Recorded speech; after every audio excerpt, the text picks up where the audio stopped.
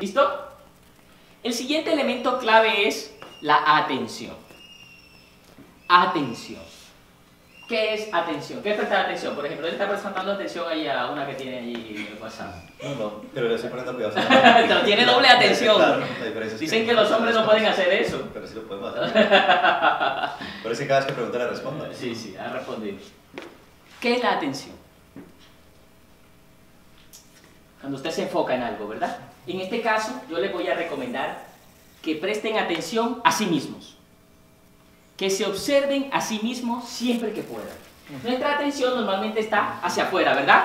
Tenemos la atención en, la, en el informe que tengo que presentar, en la secretaria que pasó, ¿sí? O en cosas que están en mi mente. O en la usuaria que pasa. O en la usuaria que pasa.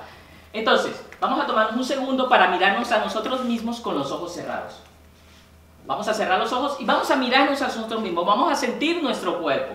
Vamos como si pudiéramos mirarnos hacia adentro. Vamos a comenzar por los pies. Vamos a mirar nuestros pies. Vamos a sentir qué está pasando allí. Nuestras rodillas,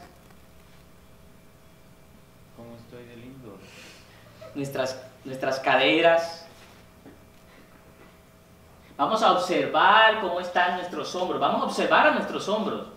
Vamos a tratar de escuchar qué están diciendo.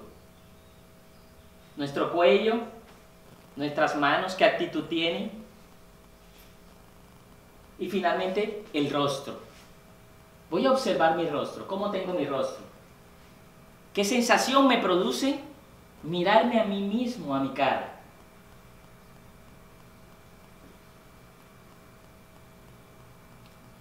Bien. Cortico. Esto se puede hacer 5 minutos idealmente. A mí este ejercicio me gusta hacerlo al levantar. ¿Sí? Mejor dicho, al levantar, no, al despertar. O sea, antes de pararse de la cama, uno mirarse a sí mismo, mirar su cuerpo, mirar sus órganos, normalmente unos 5 minutos. Eh, pero como por cuestiones de tiempo, se los hice corto, pero pueden tomar el tiempo que quieran. Lo pueden hacer en cualquier momento en la oficina, en su casa, al despertar es espectacular. Eso le cambia el día completamente. Bien, ¿qué me dice? ¿Qué le pareció? ¿Qué sintió? ¿Qué experiencia fue? Mirarse a sí mismo, ¿lo hacen con frecuencia? Nunca. ¿Qué le pareció? ¿Qué sintió en su cuerpo? ¿Qué encontró en su cuerpo? Tranquilidad. Tranquilidad, eso es importante. Simplemente con el hecho de mirar para adentro uno comienza a tranquilizarse. Impresionante, ¿verdad? Bien, ¿qué encontró en su rostro? Belleza. Mucha. Mucha. ¿Qué más aparte de belleza? ¿Cómo está la tensión del rostro? ¿Suave, relajada o encontraron alguna tensión? Tensión, encontró algo de tensión en su rostro. ¿Alguna vez se había percatado de eso? No. ¿Qué representa el rostro para las personas que conviven con nosotros? ¿Qué representa el rostro de él para ella y el de ella para él y el de él para él? ¿Ustedes trabajan en la misma oficina o cerca o sí? El estado de ánimo en la película. Reflejan el estado de ánimo, correcto. Y el estado de ánimo, yo tengo dos opciones. Si yo no me percato de mi estado de ánimo, si yo dejo que mi vida funcione de manera automática, en piloto automático, no puedo hacer ningún cambio. ¿sí? Cuando yo me miro a mí mismo, miro mi rostro, miro mi cuerpo, me doy cuenta de muchas cosas. Y si miro mi rostro y me doy cuenta que mi rostro está tenso, tengo una opción. Tengo varias opciones. Una de las opciones es cambiar. ¿Qué pasa si yo llego a mi oficina así? Y no me percato, ¿verdad? Porque estoy allí. Estoy allí. En eso que me está causando ese rostro. Pero sí, me acordé de que tengo que mirarme a mí mismo. Y me miro y me doy cuenta que estoy así. Tengo dos opciones. O sigo así o cambio. Para cuestiones de ambiente laboral, que es el tema que estamos manejando, ¿verdad? Para la convivencia, para el manejo del estrés, ¿qué es lo más recomendable? ¿Mantenerme así o cambiar? Cambiar. Cambiar. Simplemente con ver mi rostro puedo aflojar. Entonces aflojemos, vamos a mirar el rostro y vamos a aflojarlo. Suelte, suelte, suelte la mandíbula, suelte los ojos, la nariz. Ya. ¿Qué cambió en, todo, en su cuerpo? ¿Sintió un cambio? Sí. Tan sencillo como eso. Las emociones pueden venir de adentro, desde la parte mental, pero se reflejan en el cuerpo. El núcleo central de las emociones es el cuerpo. Cuando yo me percato de ellas, tengo la opción de modificarlas. Es lo que llamamos atención interna o tomar conciencia. Entonces, conciencia corporal, yo le llamo conciencia corporal, es prestar atención a lo que está sucediendo en mi cuerpo, en mi rostro. Cuando yo le presto atención a lo que está sucediendo en mi cuerpo, me puedo percatar de que tengo un nudo en el estómago, o un vacío, o una presión en el pecho, o una tensión en los hombros. ¿Alguien sintió tensión en los hombros cuando estaba haciendo la, la conciencia del, del cuerpo? Sí, tensión en los hombros, ¿verdad? O en el cuello. Cuando me percato de ello y llego al rostro y me doy cuenta de que mi rostro está tenso, tengo la opción de aflojarlo. De aflojarlo y hacer algo mágico. ¿Qué es esto? Subir la comisura de los labios. ¿Cómo se llama eso? Sonreír a la vida. Sonreír. No hay que estar alegres. No tengo que yo llegar de fiesta. Puede que yo llegue preocupado. Simplemente con prestar atención, con mirarme a mí mismo, con aflojar mi rostro, sonrío y adivinen. Adivinen qué pasa. Mi emoción cambia y me siento más alegre. Es decir, yo puedo generar la alegría simplemente riéndome. Generalmente esperamos que algo nos pase para reírnos, ¿verdad? Estoy esperando que me echen un chiste o que suceda algo jocoso para reírme. Pero puedo hacer lo contrario. Puedo reírme para que mi mundo interno cambie y eso se va a reflejar en mi ambiente laboral y en mi mundo externo. ¿Qué le parece? ¿Fácil o difícil? No. ¿Ok?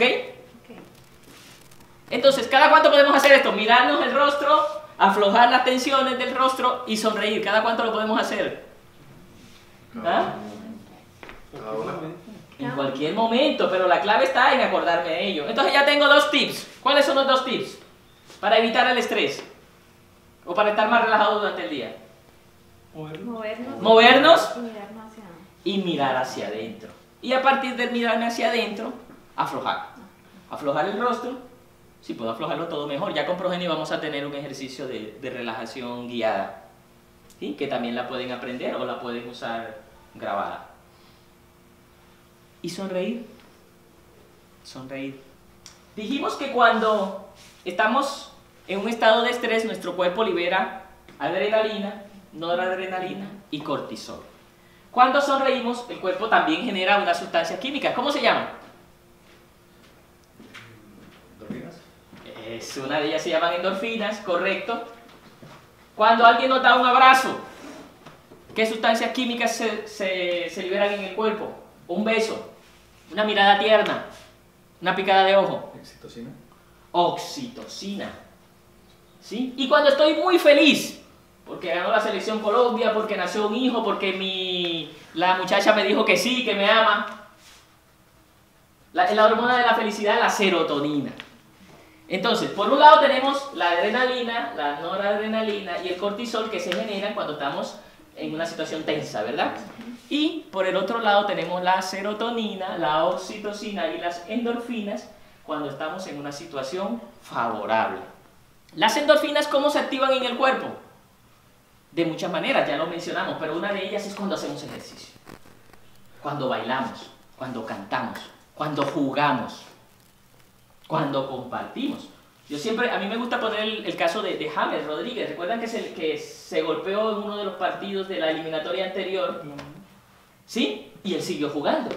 ¿Sí? Cuando llegó a España dijeron, pero ¿cómo es posible? Estaba lesionado. ¿Por qué él siguió jugando si tenía una lesión que le, duró varias semanas?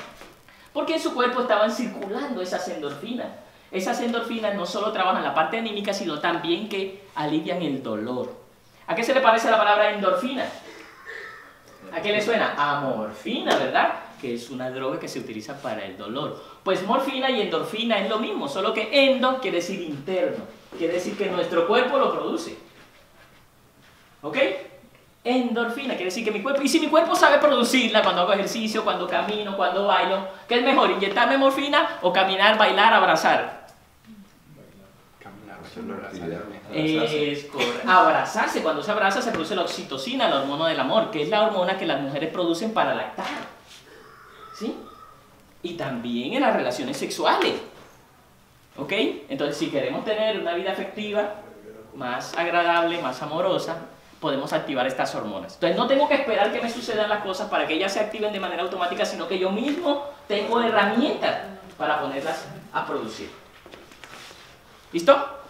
Bien, entonces, movimiento, Movimiento, mirarse internamente. mirarse internamente. Dentro del mirarse internamente, vamos a mirar ahora un elemento clave, que es el elemento que establece la conexión entre el cuerpo y la mente. ¿Cuál es ese elemento? El que nos conecta mente con cuerpo.